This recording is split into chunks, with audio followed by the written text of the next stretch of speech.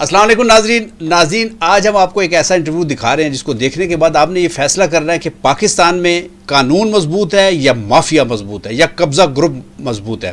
तो आइए आपकी मुलाकात करते हैं जनाब नासर अवान साहब से। नासर अवान साहब अस्सलाम वालेकुम। जी वालेकुम सलाम। नासर अवान साहब आप ओवरसीज़ पाकिस्तानी हैं और बहुत अरसा आपने खिदमत अंजाम दी सऊदी अरब में।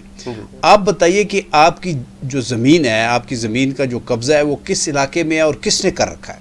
जी मेरी ज़मीन गुजरात में है और दो कनाल बारह मरले ये प्लाट है मेरा जिसके मेरे पास आइनी कानूनी तौर पे डॉक्यूमेंट मुकम्मल हैं और मैं उसके महकमा माल के रिकॉर्ड में जैनवन आइनी कानूनी मालकार हूँ।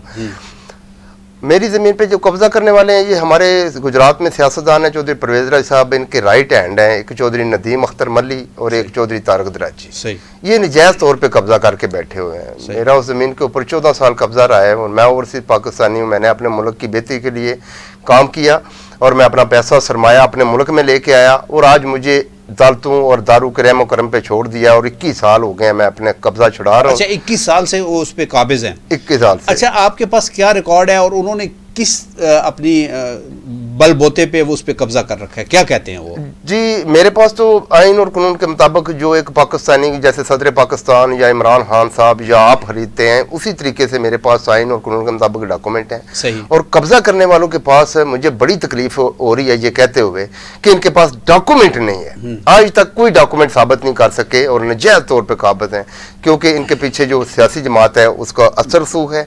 और गुजरात मुझे तो लगता है कि इलाका गैर है गुजरात।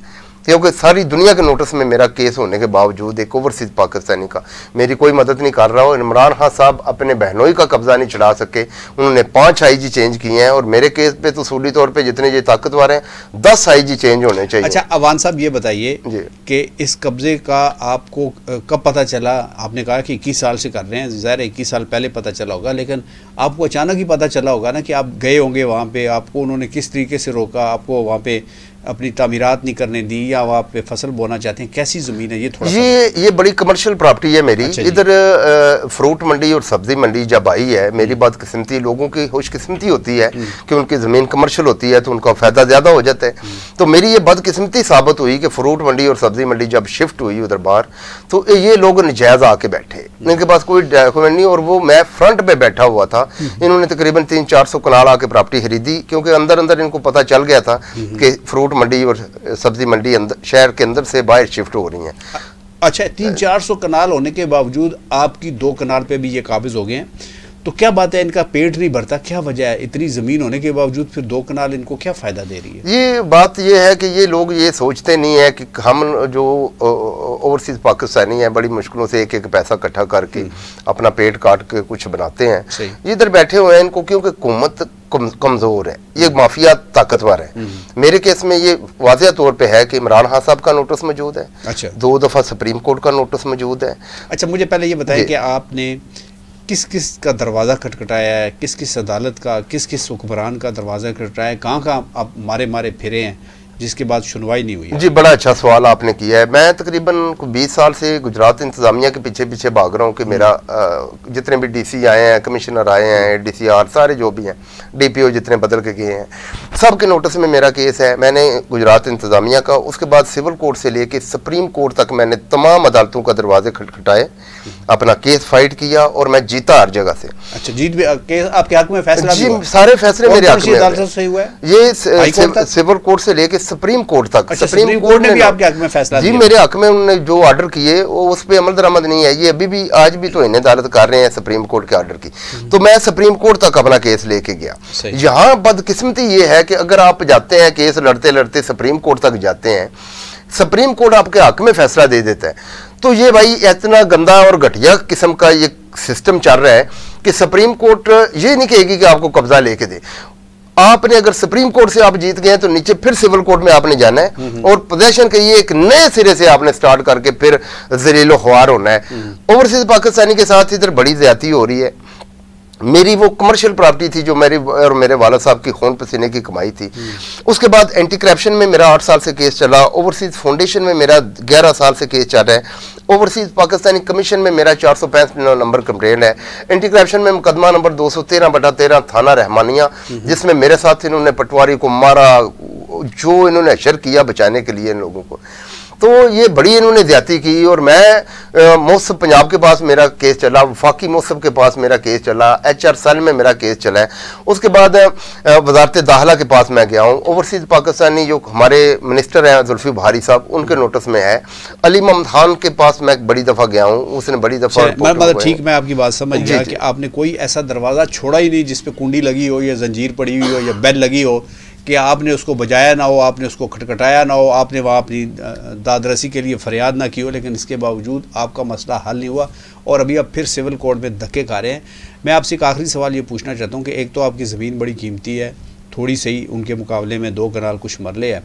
लेकिन इस केस को लड़ने के लिए आपने कितना ही वक्त ज़ाया किया होगा और कितने अखराज होंगे ज़रा वो थोड़ा सा मुख्तसर सा मुझे बता दीजिए। बड़ी आपने बड़ा अच्छा सवाल किया है ये तमाम ओवरसीज पाकिस्तानियों के लिए भी ज़रूरी है।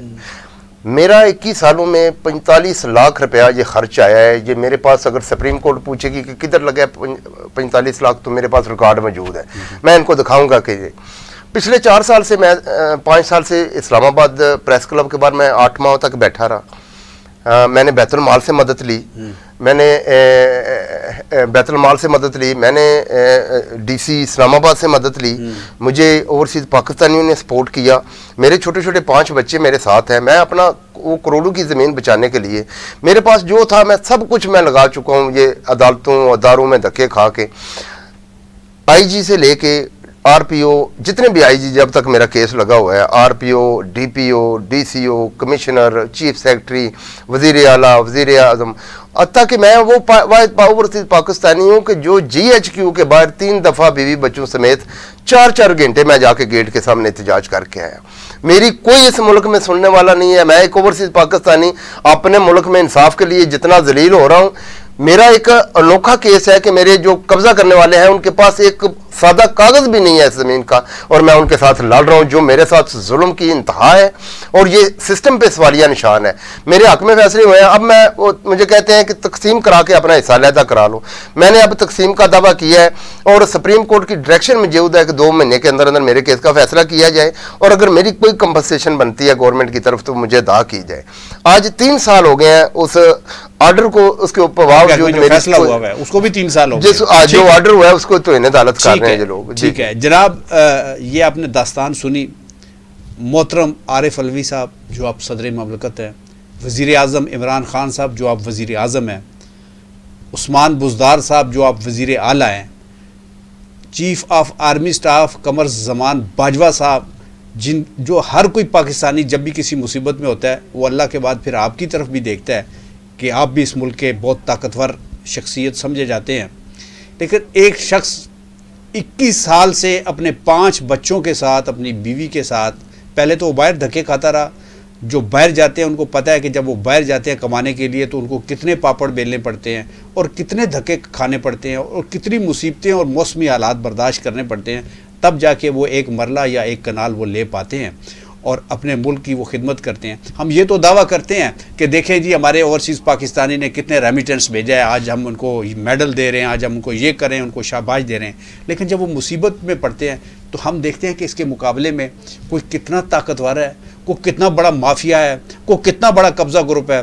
तो खुदारा, ये हमारी बड़ी खुशकस्मती होगी कि अगर हमारी ये वीडियो आप किसी साहब तक पहुँच जाए, किसी हजूर की ये खिदमत में पहुँच जाए और हम दस बस्ता आपसे दरख्वास्त करते हैं कि खुदा के लिए ये जो आवाम होती है, ये जो गरीब लोग होते हैं, अगर इनकी दर्द रसी नहीं करेंगे तो फिर कोरोना क्या और जल्जले क्या और सैलाब क्या, इनसे हम बच नहीं सकते।